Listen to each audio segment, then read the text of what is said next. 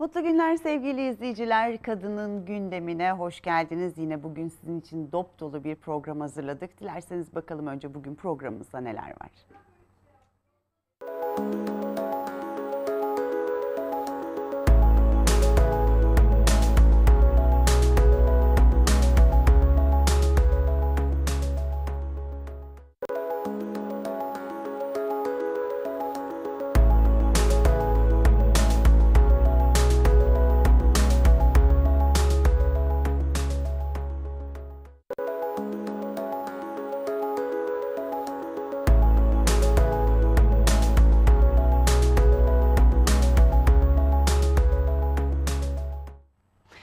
Evet sevgili izleyiciler söylemiştim bugün dop dolu bir programımız var. Yine haftanın ilk ve yılın son günündeyiz.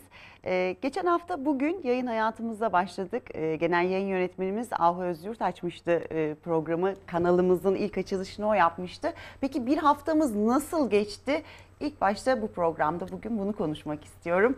Ve e, sevgili genel yayın yönetmenimiz bizimle birlikte. Hoş geldiniz. Hoş bulduk Ebru. Çok teşekkür ederim. Ellerinize sağlık. Bir haftayı dolu dolu güzel geçirdik. Gerçekten çok büyük bir tempo ile ilerledik değil mi? Bir hafta nasıl geçti anlamadık. Hakikaten. Nasıl geçti bir haftamız? Sizin nasıl geçti? Çok başarılı geçti. Ekranda gördüğümüz her şey çok önemliydi ve çok güzeldi. Ee, biz e, özellikle kadın kuruluşlarından, kadın derneklerinden, kanaat önderlerinden çok büyük tebrikler aldık. Ama bir o kadar da sorumluluğumuz arttı. Sizin kuşağınızın, kadının gündemi kuşağının özellikle altın çizdiği konular, kadın e, dizilerde kadın meselesi, kadına yönelik şiddet ki onu sürekli olarak e, çözüm önerileriyle ekrana getiriyorsunuz. Yani altını vurguluyorsun sen de her seferinde. Burası sadece kadına şiddetin konuşulduğu ağlama duvarı değil, tam tersine ne yapacağını çok güzel anlatan başarılı kadın örnekleri getiriyorsunuz ekrana.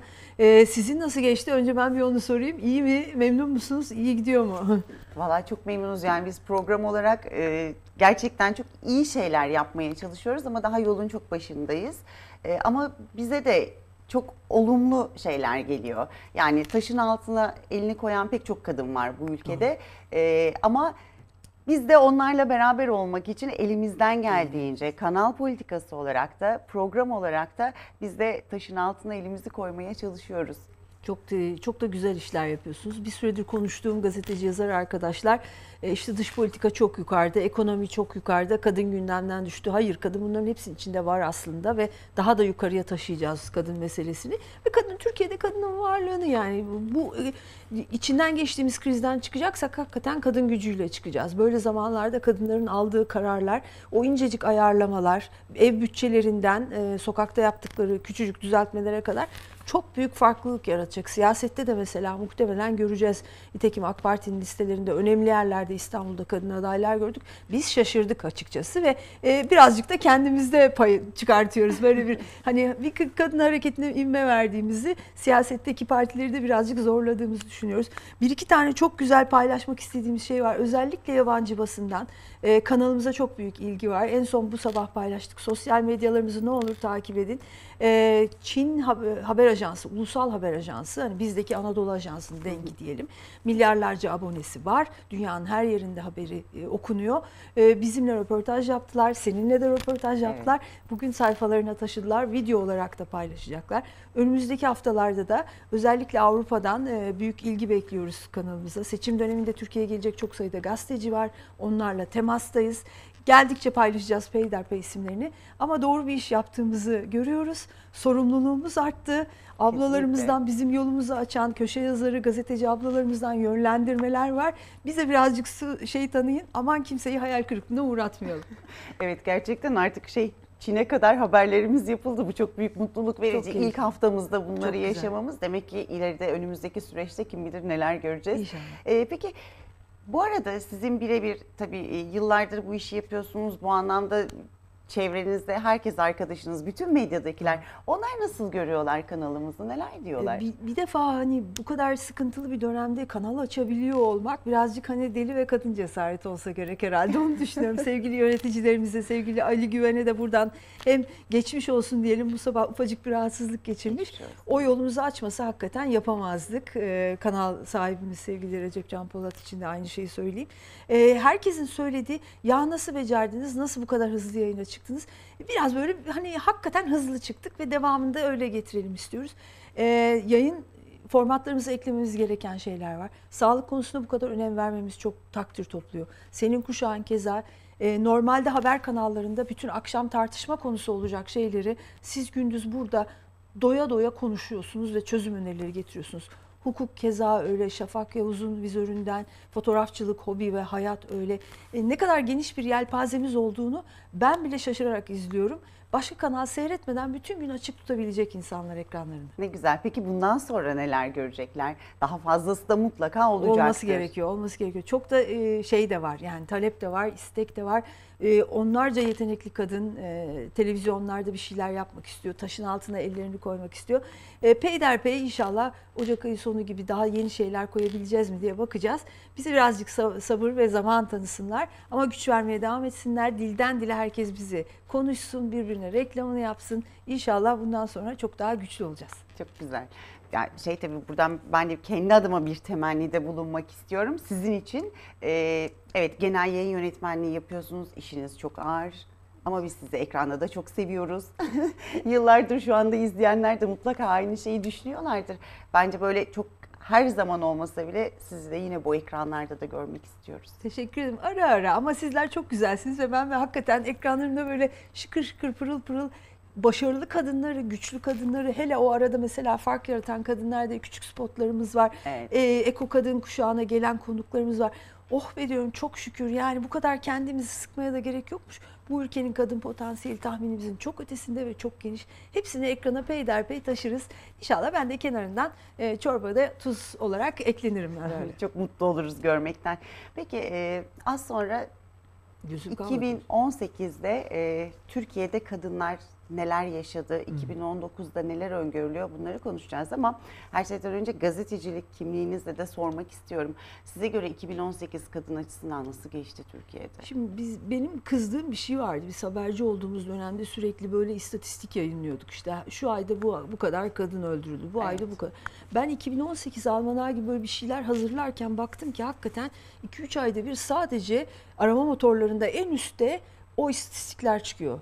Kadın Ağustos diye arıyorsunuz. Ölen kadın sayısı hop diye tepede çıkıyor. Demek ki en çok tıklanan ve aranan buymuş. Bizim derdimiz bu tabloyu değiştirmek. Hakikaten başarılı kadın sayısını arttırmak, CEO kadın sayısını arttırmak, yönetim kurullarına daha çok kadın sokmak, sporcularımızla gururlanmak. Yani hani yarım sayfa olmasın dünya şampiyonu olan voleybol takımımız dünyanın her yerinde haber olsun istiyoruz. Bizim derdimiz hakikaten hem yelpazeyi genişletmek hem de iyi haberleri yukarıya doğru itmek. Ee, 2018 o açıdan böyle aralarda çok parlak şeylerin olduğu ama genel anlamda birazdan sevgili Gülsüm Kavda anlatacak. Ee, sıkıntılı, biraz mücadeleli bir yıl oldu. Ee, 2019'da çok daha iyi resmi makamlarla da, polisle de, emniyetle de daha çok işbirliğimizin olacağı, onların bize, bizim onlara daha çok yardım edeceğimiz bir yıl olsun istiyoruz. Evet. İnşallah biz de programımızda evet kadınların bütün sorunlarına elimizden Aynen, geldiğince tabii. değinmeye çalışıyoruz. Ee, umarız daha keyifli e, kadınların iş gücüne katılımını Tabii. e, çok daha keyifli yani belki de çok önemli siyasi makamlara gelen kadınları Çok alıp başarı hikayelerini bu Çok tür şeyleri konuşuruz umarım. Ama yine bugün çok keyifli şeyler de konuşmayacağız. Maalesef, Maalesef. öyle gözüküyor. Ee, buradan küçücük bir şey yapayım. Ee, çok sayıda erkek arkadaşımız, meslektaşımız ya kadın kadına oturuyorsunuz bizi hiç mi çağırmayacaksınız diyor.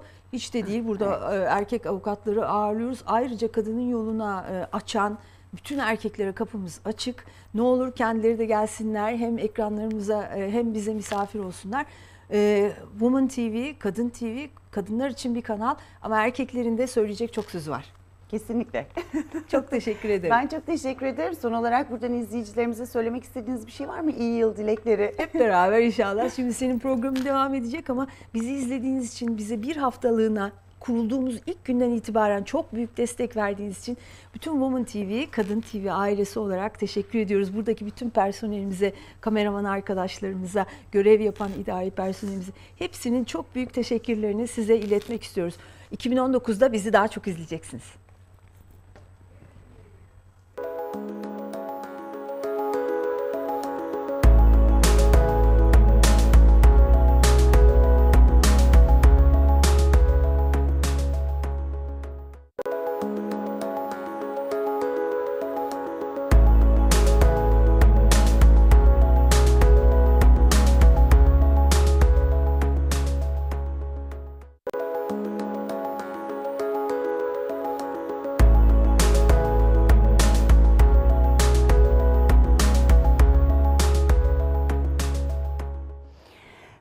Kadının gündemi devam ediyor. Woman TV olarak bir haftamızı nasıl geçirdik bunu konuştuk. Peki 2018'de e, kadınlar için nasıl geçti? Şimdi onu değerlendireceğiz.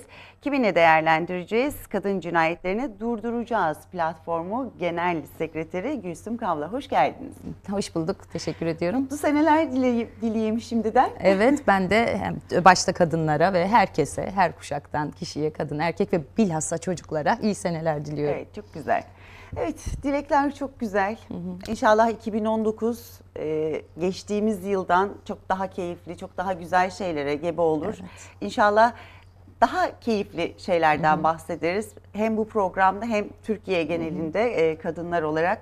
Ama öncelikle şöyle bir 2018 kadınlar için nasıl geçti? Böyle bir değerlendirmenizi istiyorum. Çünkü bu konuda en vakıf olanlardan birisisiniz. Yok, Estağfurullah rica ederim. Aslında e, 2017'den de kalanlar vardı. Dünyada da Türkiye'de de kadınlar e, var olan haklarına sahip çıktıkları dönemler geçiriyorlar. Çok canlı bir mücadele yürüyor. E, çünkü dünyada Evet. da biraz aslında hani kadın haklarına saldırıların arttığı bir dönemdeyiz. Böyle rejimler var, böyle liderler var, erkek liderler. E, bunun en e, büyük e, kadın eylemleriyle örneğini aslında Amerika'da Me Too ve daha sonra Trump karşıtı gösterilerde de gördük. Avrupa'da da zaman zaman e, böyle oluyor. Bu e, dünyanın sadece işte bu coğrafyalarında değil daha zor rejimler altında yaşayan kadınların da ciddi bir hak mücadelesi var. Burada örneğin Suudi Arabistan'da kadınların araba kullanma e, Evet. mücadelesini, İran'da türbünlerde olma mücadelesini ve özgürlük mücadelesini görüyoruz. E, ayrıca Afrika'da pek çok hani kadın e, lider var oradaki kadınların ve kız çocukların hakları için uğraşan, her gün çaba gösteren. Yani bütün kıtalarda kadınlar aslında var olan sorunlarını çözmek, olan haklarını savunmak e, la hani bir mücadele dolu yıl geçirdiler. Bu arada hani bazı sorunlarımız, hak ihlallerimiz sürse ve de- ve bunun mücadelesini canlı biçimde yürütüyor olmamız da olumlu olan taraftır yeni haklar da elde ettik. Ben hani bunu özellikle anmak istiyorum. Bu dünyadaki hani tüm e, kadınlar birbirimizden kuvvet alıyoruz çünkü biz iletişim çağındayız. Böyle çok önemli bir e, kuvvet ve etki yaratıyor birbirimize. E, bu açıdan örneğin e, en önemli kazanımlardan biri İzlanda eşit işe eşit ücret yasasını kabul etti. Yani tam tamına kuruşu kuruşuna kadınlar aynı maaşı alacaklar. E, uygulaması biraz daha geç başlayacak ama bu çok Evet. önemli bir kazanımdı. Pek çok Avrupa ülkesi için örnek teşkil ediyor. İrlanda'da çok uzun bir zamandır süren kürtajı yasağına karşı bir mücadele vardı ve bu sene nihayetinde o kazanıldı. Yani onun kazanıldığı anki hani evet yasak kalksına evet oylarıyla uğraş hani e, olsun diye uğraşan kadınların yüz ifadelerini görseydiniz hani aslında bu sene gerçekten hani kadınların be- belli anlarda yüzlerinin de güldüğü çok mutlu olduğumuz da bir yıl oldu. Bir anlamda 2018 kadın yılı oldu bu, bu yönleriyle diye düşünüyorum ben. Evet. Aslında yılbaşında da buna duyurmuştu. Yani yılbaşında e, feminizm en çok aranan sözcük e, seçilmişti arama motorlarında. Evet. Bu sene bunun nedeni de biraz daha genç nesiller aslında çok daha fazla sahip çıkıyorlar. Gülsüm Hanım buradan devam edeceğiz ama e, maalesef işte 2018'i değerlendirirken bugün kadın cinayetlerinde neredeyiz 2019'da böyle olmasın derken e, maalesef biliyorsunuz yine bu tür bir vaka yaşandı. E, İzmir'de vücut geliştirme de bir de Evet. yüzümüzü güldüren bir kadın e, kainat ikincisi oldu ve maalesef yine bir erkek Evet, yüzünden evet, hayatını kaybetti.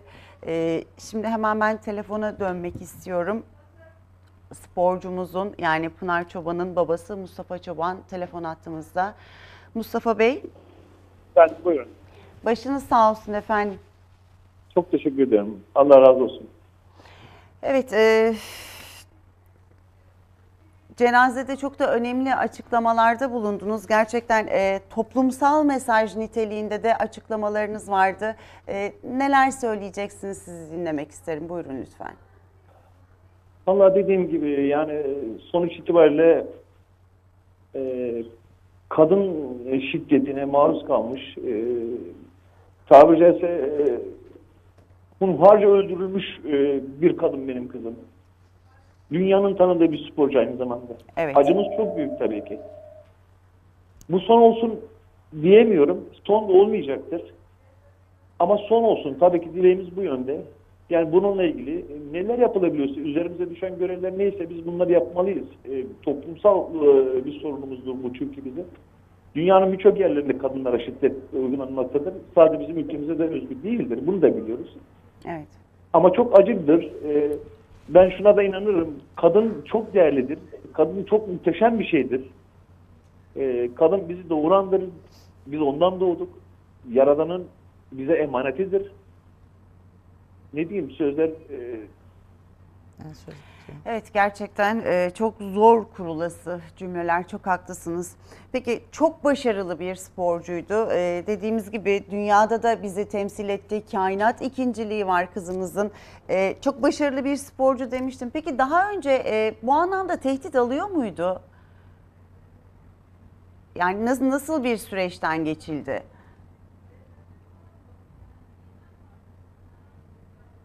Mustafa Bey?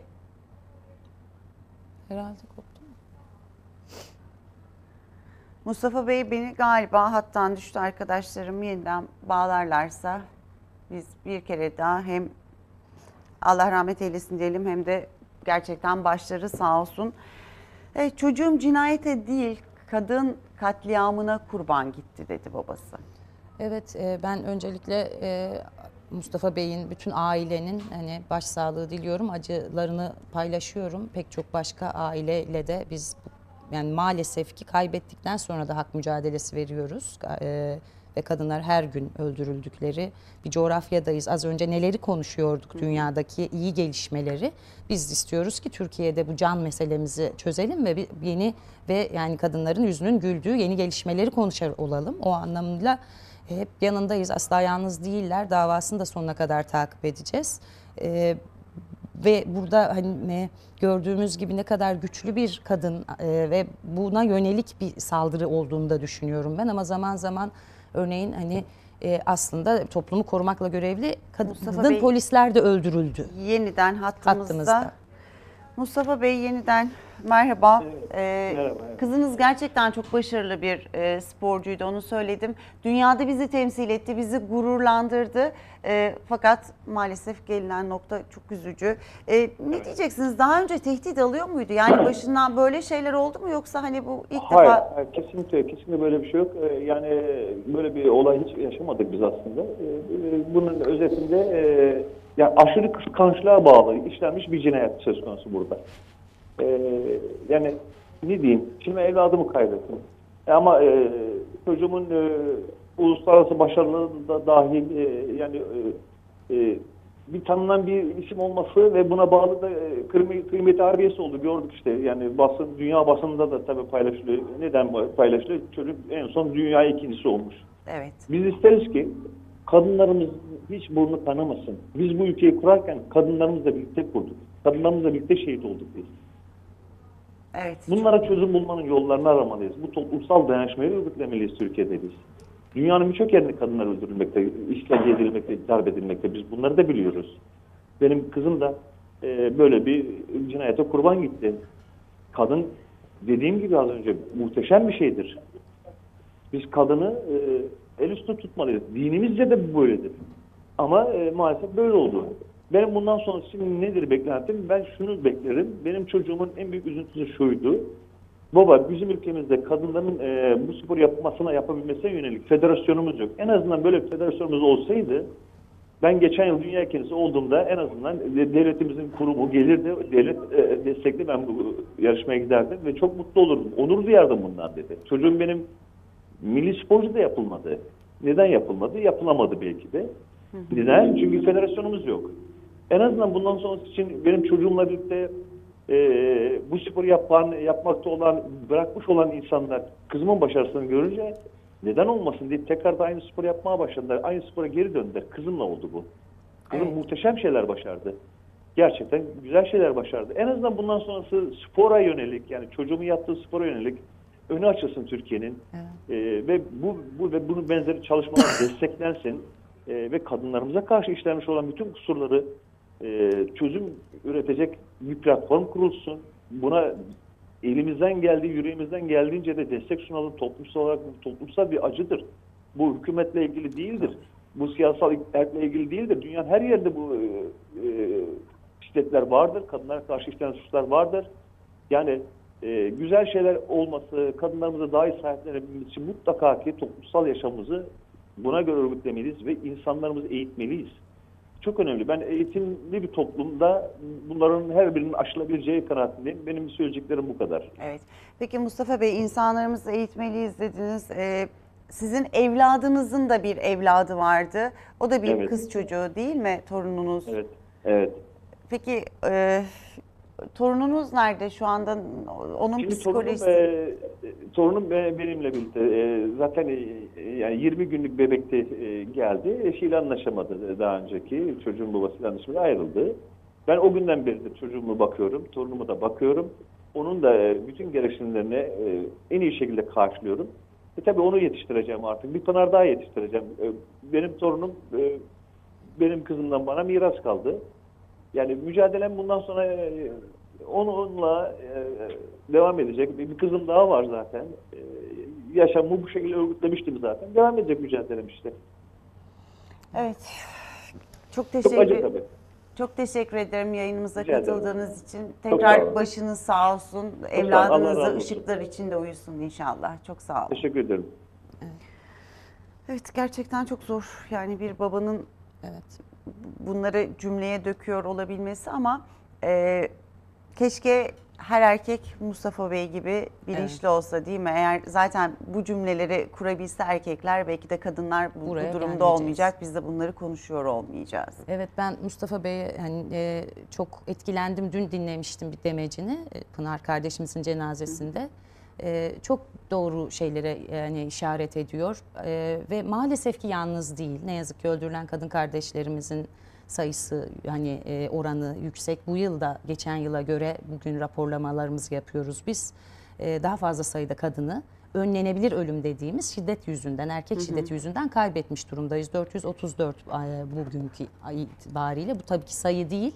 Pınar gibi yaşayan ve hiçbir sağlık sorunu olmayan, belki Pınar kadar kuvvetli kadınlardı. Evet, Ama Pınar'ın çok özel polis bir de var, kolluk kuvvetlerinde Evet, kolluk olan kuvvetleri de kadınlar da var. var dediniz. Ee, Pınar daha da özel bir örnek. O açıdan hani Mustafa Bey çok doğru söylüyor. Yani onun acısını e, hiç dindirmeyebilir, onu geri getirmeyebilir ama onun hani e, emek verdiği, böyle hayatını adadığı sporda kadınların önü açılırsa dile getirdiği Evet, federasyon engeller kalkarsa var. en azından Pınar'ı böyle yaşatmış oluruz. Onun hatırasını kadınların için yaşatmış oluruz. Ben de buradan onun bu çağrısına katılma, katıldığımı söylemek istiyorum. Aslında Mustafa Bey'in de yani e, örneğini oluşturduğu gibi bu sene e, kadın cinayetleri devam etti ve ama aileleri çok haklı, meşru ve sessiz kalmayan ve aslında başka toplumsal sorunların çözümünü de talep eden bir mücadele başlattılar. Örneğin Helin Palandöken'in babası Helin'in hani internetten sipariş edilen bir silahla öldürülmüş olması gerçeği Evet. karşısında bireysel silahlanmaya karşı da kampanya başlattı. Hani benim e, kızım e, e, kaybettim e, başkası kaybetmesin, başkasının içi yanmasın diye ya da Şule Çetin babasını geçtiğimiz günlerde Evet. burada birlikteydik. E, yine e, şüpheli ölümlerde gerçeği aydınlatmak çok önemli. O da bu konuda yine e, bizim platformumuzla birlikte e, ne bir mücadele yürütüyor, taleplerini dile getiriyor. Burada tabii ki toplumun çok önemli görevleri var ama e, aslında e, hep çözümü anlatıyoruz. Çözüm hiç zor değil. E, kadınlar zarar görmeden korunmalarını sağlayacak 6284 sayılı kanunun tam uygulanmasını sağlamak ve aslında bunun da içinde olduğu İstanbul Sözleşmesi Evet. dediğimiz e, şiddeti durdurmanın yollarını çok iyi anlatan sözleşmeyi uygulamak. Bu seneyi biz değerlendirirken hani dünyada iyi şeyler de oldu. Tabii ki şiddet ve sorunlar da devam etti. Türkiye'de de yine iyi şeyler de oldu ama bu sorunlarımız da devam etti. E, bu sorunlarımız böyle devam ederken aslında olan olumsuz bir durum bizim bir bakanlığımız yok. Yani kadından sorumlu bir bakanlık talebimiz var. Çok zamandır bu var. Ama mevcut bakanlık da Çalışma Bakanlığı ile birleştirildi. Bu hani bu değişimin ben kadınlara iyi gelmediğini düşünüyorum. Bu sorunu çözmekte Mustafa Bey'in işaret ettiği gibi e, toplumun da rolü var ama biraz önce Ahu Hanım'ı dinledim. Çok katılıyorum onun da. Yani e, yetkililerin bunu nedenle görev yürüten e, kamunun, devletin de çok ciddi bir görevi var. Bu kanunu uygulamakla yükümlü bakanlıklar var. Adalet Bakanlığı, eski haliyle Aile Bakanlığı, şimdi birleştirilmiş haliyle, Sağlık Bakanlığı, İçişleri Bakanlığı, Jandarma dahil olmak üzere bu bütün bakanlıkların hem İstanbul Sözleşmesi için hem de işte onun içerisindeki korunmanın sağlanması için. O diyor ki sözleşme bize önce önleyin kadınların eşit olduğu toplum yaratın. Bunu hemen yapamazsanız bir tehdit söz konusuysa koruyun. Koruyamadığınız zarar gördüyse cezasız bırakmayın. Etkin bir kavuşturma yürütün. Yargı da burada çok önemli bir rolde. Bütün bunları yaptınız yetmez. Kadınların geleceğe dönük mutlaka güçlendirmelisiniz. Burada da iş gücüne dahil olma oranlarımızdaki Evet. büyük sorunu çözmek meselesi e, geliyor. Dolayısıyla Ahu Hanım'ın da dile getirdiği hani Emniyetle Adalet Bakanlığı'yla daha fazla ortak çalışma ve bu sorunu çözmek için daha fazla çaba gerekiyor. Yani e, bu açıdan devletin de yani önemli bir görevi var. E, ben hani Ahu Hanım'ın da bu dileğine de katılıyorum.